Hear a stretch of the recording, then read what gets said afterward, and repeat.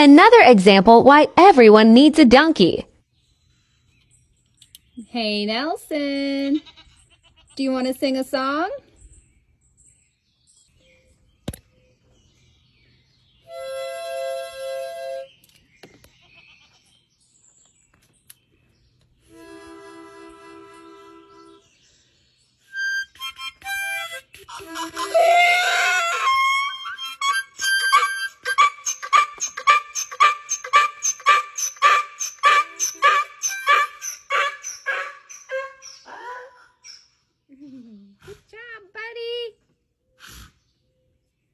Take a bow.